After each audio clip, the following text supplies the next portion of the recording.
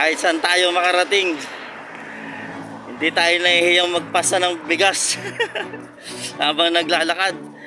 Kahit sa uh, ilang ilang bansa pa yung marating natin. Wala nang pasosyal-sosyal. Kung magugutom din naman yung tiyan mahirap yung pasosyal. Ayaw magbubuhat ng ganito. Sosyal ka nga kumakalaw naman yung tiyan mo. Mahirap yun. Mas gugustuhin ko pang ganito.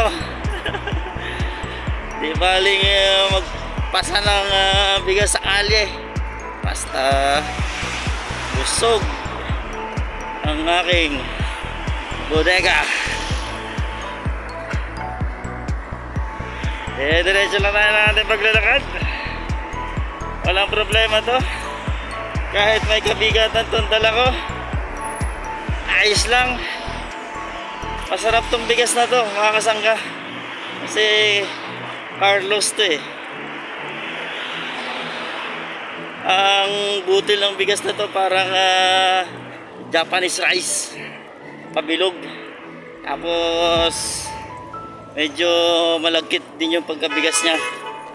Kaya kahit na toyo lang yung ulo mo. Labanan na. I'm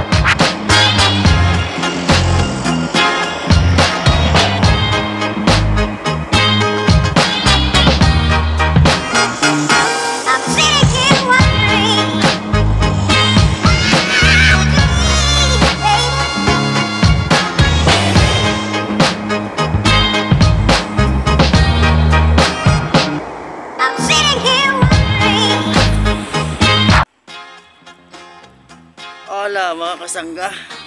Uwi na tayo. May dala ulit tayong bigas 15 kilos. Bumili ulit tayo ng tatlong tigpa 5 kilos. Kahapon May dala rin tayo. 15 kilos din yung dala natin pa uwi Habang naglalakad tayo.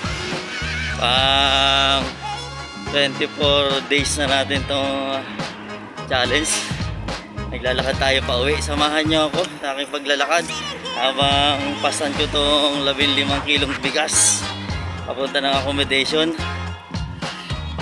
24 days na natin itong ginagawa. Saan tayo dadali ng ating paa? Siyempre sa higaan. Ayan na. Kahit saan tayo makarating, hindi tayo nahihiyang magpasa ng bigas habang naglalakad kahit sa uh, ilang ilang bansa pa yung marating natin wala nang pasosyal-sosyal kung magugutom din naman yung tiyan mahirap yung pasosyal. Ayaw magbubuhat ng ganito. Sosyal ka nga. Kumakalaw naman yung tiyan mo. Mahirap yun. Mas gugustuhin ko pang ganito Di baling uh, magpasa ng uh, bigas sa kalye.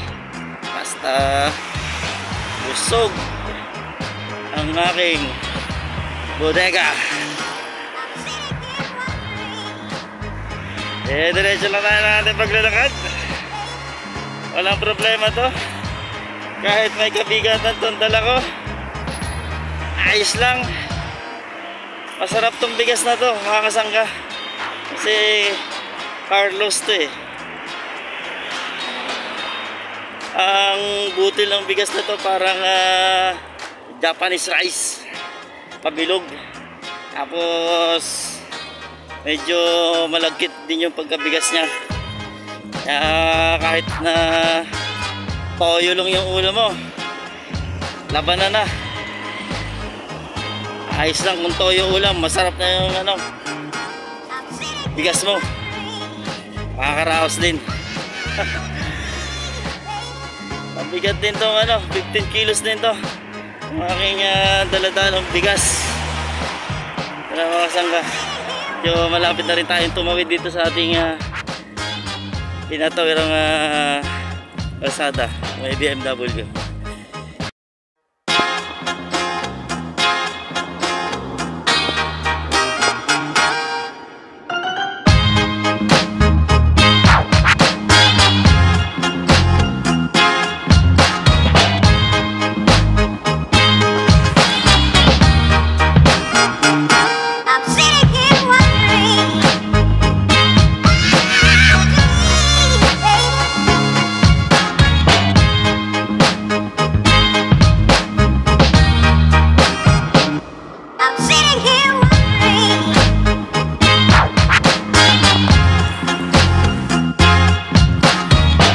Tayo mga kasangga.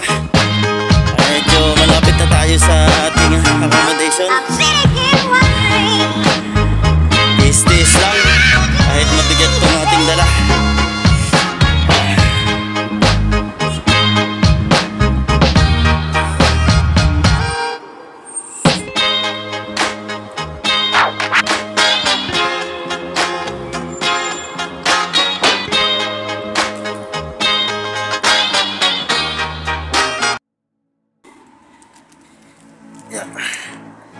Medyo paahon tong kalsada na nilalakatan natin.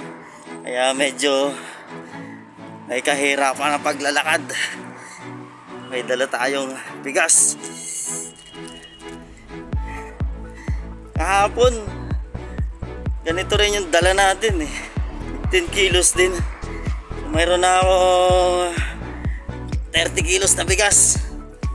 Tatlong buwan ko nang kakainin yun. Nakachempo tayo ng ano mura-murang ah, promotion ng ah, bigas. Sayang din. Wala tayong ah, pambili ng ah, regular price na bigas. Kaya pagka yung may naka-promo bigas go go go na lang. Bilhin yung bigas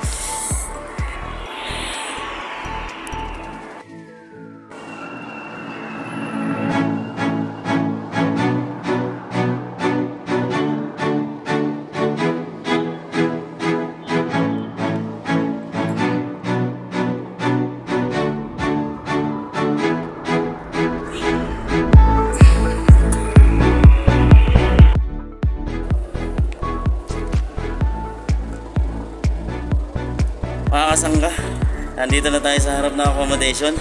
Nakarating tayo ng Matiwasay ngayong araw na to. Yung ating pang ah, 24 days challenge. Maraming pong salamat sa inyong pagsama sa aking ah, paglalakad, sa aking video. Lagi po tatandaan, nobody perfect but need perfect. Bye bye!